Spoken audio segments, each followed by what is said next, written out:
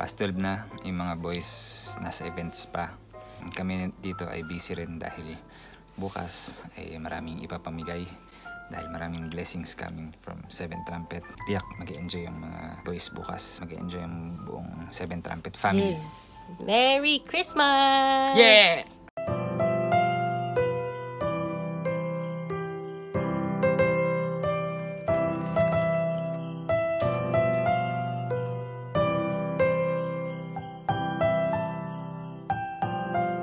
Bola ng Kayamanan. Laro namin bukas.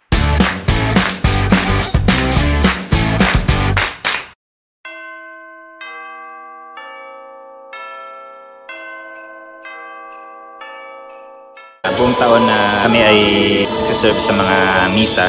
Karaniwan natutulugan talaga nila yung mass kasi madaling araw sila nagsaset up. Pero for our Christmas party, yung unang program, program namin ay mag-mass. Kami pihit, di kami mag-set up ng sound system. Magmamass lang talaga kami. Thankful kami kay Lord sa blessing ng Seven Trumpet. Nag-mass kami lahat.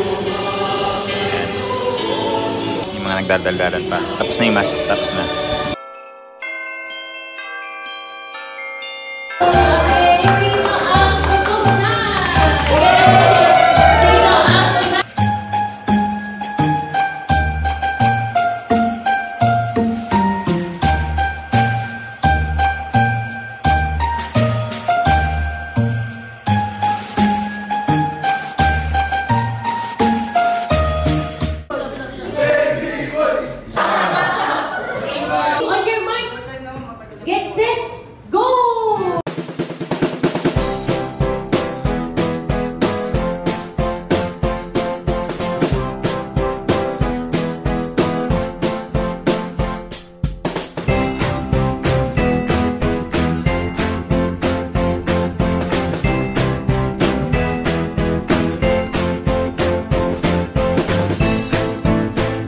Representative dyan?